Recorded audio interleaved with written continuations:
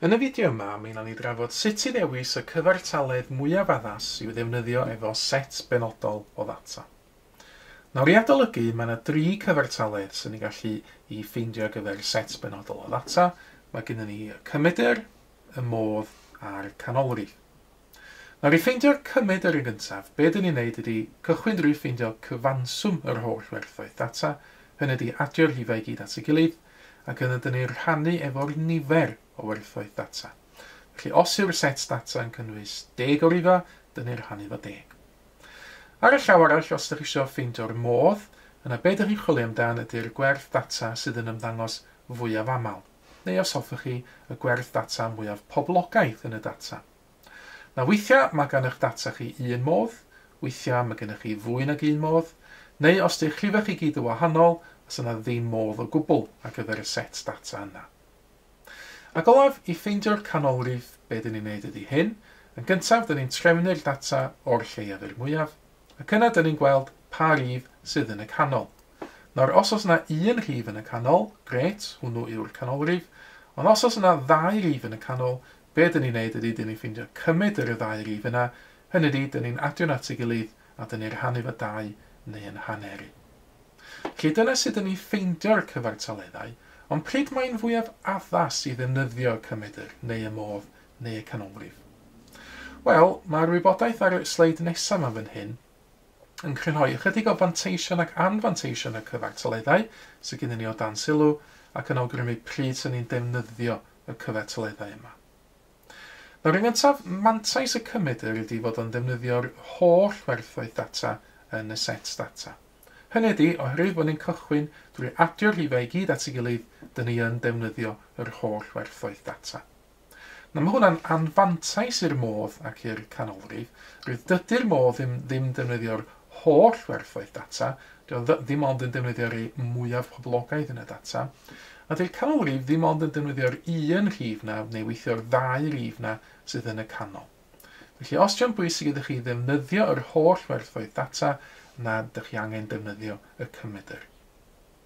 Ar y llaw arall, mae hynna weithiau'n anfantais i'r cymedr fod o'n defnyddio'r holl werthoedd data. Rwydd mae'n anfantais os di'ch data chi yn cynnwys beth dyn ni'n alw'n allanolion.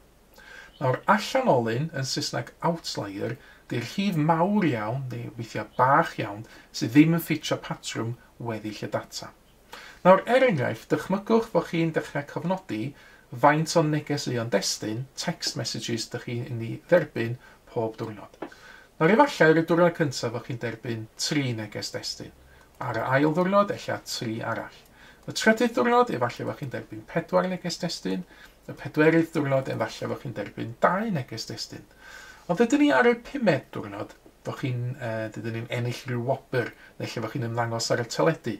Felly falle fod yna llawer o bobl yn gyrru neges i chi, i'ch llongyfarchu. E, Efallai wedyn ar y pumed diwrnod, bod chi'n derbyn dydyn ni 58 o negeseuon destun. Nawr ar gyfer y data yma, os a hwnna'n allanolyn ar gyfer y data, dio ddim yn ffitio patrwm gweddill y gwerthoedd data dyn ni wedi hel gynt. Ond mi fasa'r allanolyn yma yn effeithio'r cymryd yr un fawr, oherwydd y cymryd yr un hyn, os dwi'n adio'r gwerthoedd data yma gyd at ei gilydd, 3, 6, 10, 12, 70, mae'r cymryd yn dod yn 70 rhannu hefo 5 gwerth data, mi fysa hynna yn 14.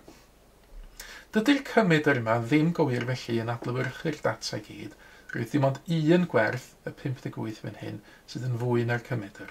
Mae mwyafrif y gwerthoedd data fan hyn yn fach. Ac felly, pyn ni'n ffeindio'r cymryd, dyn ni yn ffeindio fod yn, ca yn gallu cael ei effeithio gan allanolion. Sa'i yna ddim yn wir ar gyfer y modd neu'r canolrif. Sa'r modd ddim yn cael ei effeithio gan yr allanolyn. Fy'n hyn y modd, a sa tri, tri di'r rhif mwyaf poblogaeth. A sa canolrif chwaith ddim yn cael ei effeithio gan allanolion. Mewn trefn, yr rhif yma was a 2, 3, 3, 4, 5, 8. A'r canolrif was y 3, un o'r 2, 3 yma yn y canol. Felly fysa ddim yn cael ei effeithio, fel dwi'n dweud, gan y 58 yr allanolyn yma. Felly, pyn ydych chi eisiau defnyddio cymydr ydy hefo data sydd ddim yn cynnwys allanolion, o wedyn os di'ch data chi yn cynnwys allanolion, ydych chi eisiau meddwl am ddefnyddio naillai y modd neu y canolrif. Nawr, mantais arall y modd ydy i fod yn bosib i ddefnyddio fo ar gyfer data ansoddol. Nawr, data ansoddol ydy rhywbeth fel hoff dîm peldroed rwy. So hwnna ddim yn rif, so hwnna'n rhywbeth fel Lerpwl neu Manchester United. So ddim yn bosib e, ffeindio y cymydr neu y canolrif ar gyfer data ansoddol, ond mae yn bosib ffeindio dydyn ni tîm mwyaf poblogaidd e, set o bobl. Felly yn bendant, dyn ni'n defnyddio'r modd ar gyfer data ansoddol. Nawr, anfanteision i'r pethau sydd gen i ar ôl wan, anfantais y cymedr ydy bod angen i gyfrifo fo. Hynny ydy, da ni angen adio'r holl werthau data a dyn ni angen gwneud swm rhannu, lle mae hynna'n broblem os dy'r set data neu'n mawr. Anfantais y modd ydy os ai ddim yn bosib ffeindio modd ar gyfer hei setio data, hynny ydy os dy'r rhifau i gyd yn wahanol. Ac anfantais y canolrif, wel, mae angen aildrefnu'r data ar y cychwyn o'r lleiaf i'r mwyaf er mwyn i ffeindio. Felly dyma ni grynodeb o chydig o anfanteision, anfanteision y cyfartaleddau sydd gennym ni o fan sylw. Nawr, ymlaen i ystyried enghraifft yn fan hyn nawr, mae gennym ni dri set o ddata ar y sgrin yn fan hyn. Nawr, pa gyfartaledd neu pa gyfartaleddau sa'n fwy o addas ar gyfer y data yma? Nawr, un gyntaf, mae gennym ni ddata am hoff fath o gerddoriaeth y nifer y bobl. Nawr, mae hwn yn ddata ansoddol, mae o'n ddata disgrifiadol, mae gennym ni air yn fan hyn yn cael ei uh, gasglu gan, gan pobl gwahanol. So ddim yn bosib ffeindio canolrif na chwaith cymryd e y data yna. Uh, felly, be dyn ni'n neud pan dyn ni'n meddwl am gyfartaledd addas ar gyfer y data yma, ydy meddwl amdan ffeindio modd y data yma.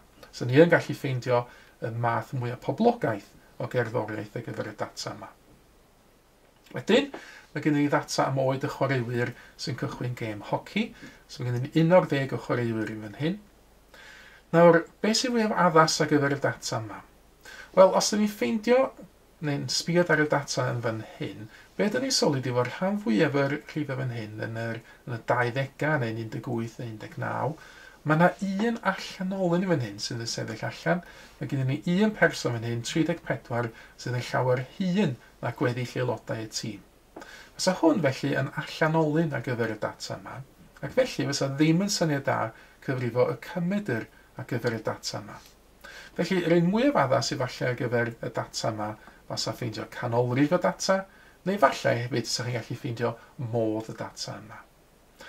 Olaf, mae gennym ni sgorau fan hyn mewn prawf sy'n llafu allan o ddeg, so mae gennym ni amrywiaeth o sgorau yn cael ei reid yn fan hyn. Yr isaf, dwi'n meddwl, ydy 1, a wedyn mae yna 10 allan o 10 yn fan hyn.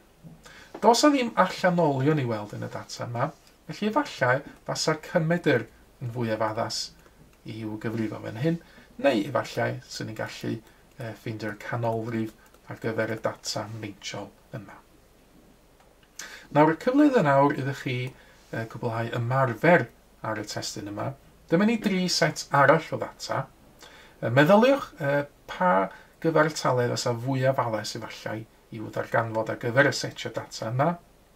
Ac yna, pen ydych chi wedi cael cyfle i feddwl amdano'ch ateb chi, Cymharwch eich ateb chi wedyn yn erbyn yr ateb dwi'n feddwl sydd yn gywir ar gyfer y tri set data yma. Mae mwy o fideos adolygu ar gael ar ein sianel YouTube Adolygu Mathemateg. Am y newyddion diweddaraf neu holi cwestiwn, dilynwch ein cyfrif trydar at mathemateg. Neu ewch i'n gwefan www.mathemateg.com am fwy o adnoddau adolygu.